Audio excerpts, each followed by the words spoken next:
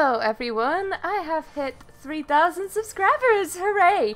I have hit that a little bit before today, but I was waiting until that number was significantly over so that we don't drop off. So currently we're 6 over, so we might just be safe, though my sub count goes up and it goes down, and it goes up and it goes down. So to celebrate, we're gonna be doing a stream on YouTube on whatever game you choose.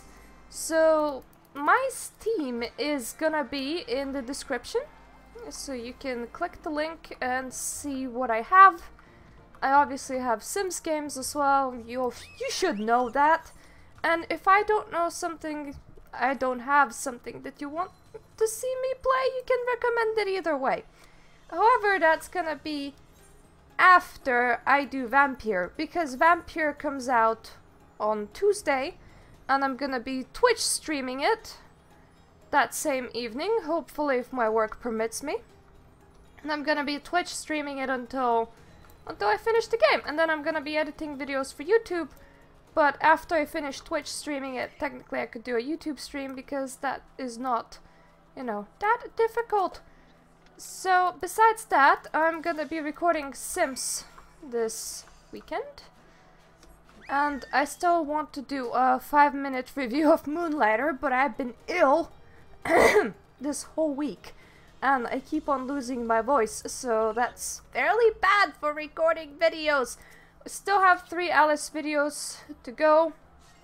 After that I'll start uploading Sims while I'm recording Vampyr.